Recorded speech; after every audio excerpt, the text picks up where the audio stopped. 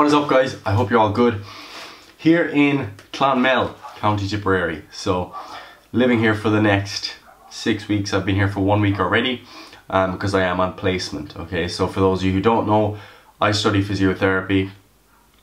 I'm at the end of my third year, so I'm at placement here in Clonmel and South Tip General Hospital. I'm doing like a neuro slash so neurology slash care of the elderly style placement.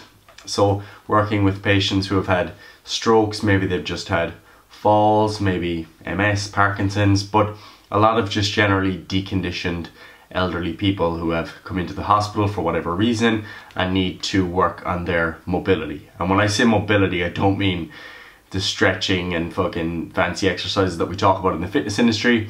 I mean actually being able to walk, to transfer from a bed to a chair, to stand up without falling, working on balance, all that sort of stuff. So that's the day to day at the moment, um, along with triage, of course. And what I wanted to do was give you guys a kind of a run through my shopping because, you know, we're always banging on at triage about, you know, maintaining a nutrient dense whole food diet.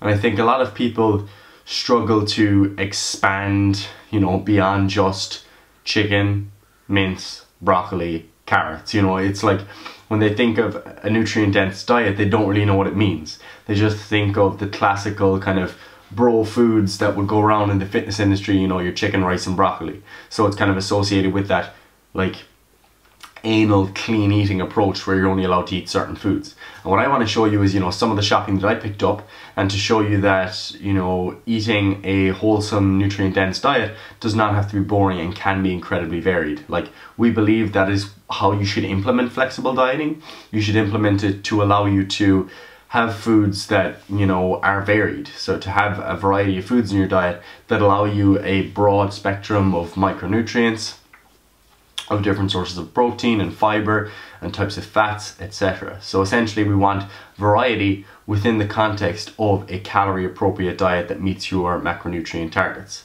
So obviously it's not just a question of variety, like if you're if you have variety but all of the foods are crap, then it's probably not the best idea. We do want to ensure we are getting a full spectrum of vitamins and minerals and phytonutrients, etc. So that's what I want to show you. So let's get stuck into it. I went to Iceland and Marks and Spencer's. Uh, the overall shop was quite cheap. Iceland cost me like 39 euro and Marks and Spencer's I think was like 18 because I just picked up a couple of bits. Um, and yeah, you could make it cheaper. Don't shop in Marks and Spencer's if you want cheap stuff. Um, Iceland is very cheap if you happen to have one near you. So I'm just gonna pull everything out of the bags and throw them on the floor and then have to pick them up again after. Um, doing it all for you guys, you know. So here we've got some extra lean venison sausages. You know, when we think of red meat, we always think of steak and it doesn't really go far beyond that. But you know, if you shop around, there are a variety of other meats that are actually quite tasty that you can actually indulge in. So there's some venison sausages, some buffalo quarter pounders, same story. Tender stem broccoli. Obviously I went to Iceland, so everything is pretty much frozen. But uh, yeah, tender stem broccoli, you can obviously buy this fresh as well. This is frozen. And people always wonder about frozen vegetables, whether they are good or bad. And it's like, meh, they're neutral. You know, you're eating vegetables. It's a beneficial thing. Through boiling, you can lose some nutrients. So if you do want to eat some of your vegetables raw, that's a good idea. Um, but I really wouldn't be wouldn't be getting too bogged down in that once you're getting your 8 to 12 servings of veg per day. Veg slash fruit. Um, avocado halves, again, frozen, convenient, decent source of monounsaturated fats and that there potassium, which we kind of, a lot of us don't get enough pot potassium in the diet, so including more foods that are high in potassium can be a good idea. Basic lean mince, too easy. These were, before they lost their thing, ostrich sausages. Ostrich pretty key, you know. And, and people always talk about the ethical question of eating meat because they're like, would you kill that thing looking into its eyes? And when it comes to an ostrich, yes, I would. I would behead that motherfucker. oh, that doesn't trigger it. Frozen mixed peppers, again, very convenient, very easy. Fling them into the pan with the mince, stir it all up, too easy. These as well, you know, frozen sliced red onion. Again, gonna go into the pan with some peppers and some mince and it's gonna be a pretty easy cook. Multi-greens rice steam bags. So essentially there's a couple of different types of greens in here, broccoli, curly kale, spinach, courgette and seaweed. And again, just a very convenient way of getting in vegetables, filling up your plate, ensuring that you do have high volume in your diet. And so it, like it's not just like when it comes to vegetables, it's not just about the nutrients they offer, but also the volume that they offer. So if you can become more full with less calories, for example, replacing regular rice with something like this, then it's going to be much easier to manage your overall caloric intake. Broccoli, broccoli florets, nothing too fancy.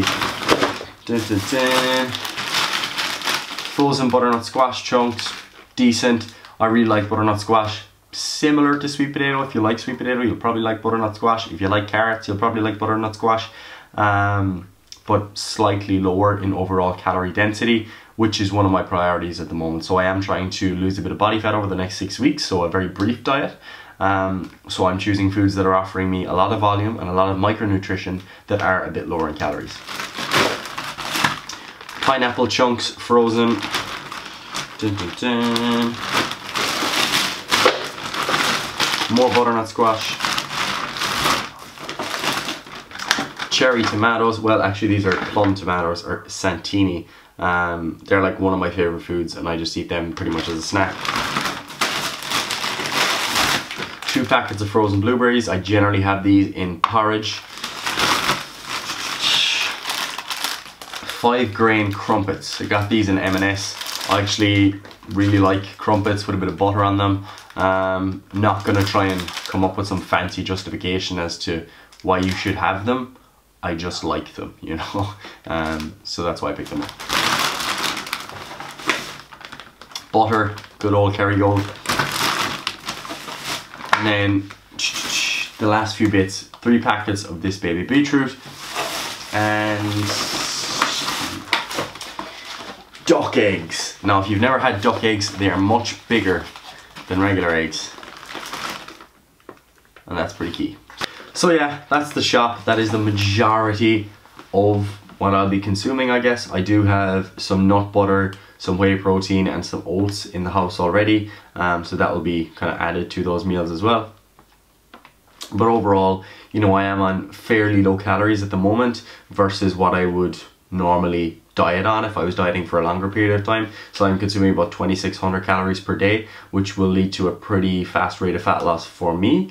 Um, and again that, that's something that's going to be completely individual and that you have to assess and, and even for myself like my the caloric intake that is appropriate for me to diet on is going to vary at different points in time like at the moment because i'm working in the hospital i'm very very active on a day-to-day -day basis and because i'm in clonmel and where i'm living i have to walk quite a lot each day so my steps range between 15 and 20,000 steps per day and my resistance training so my actual strength training will be ranging from three to four sessions per week over the next six weeks. So I've got that baseline activity.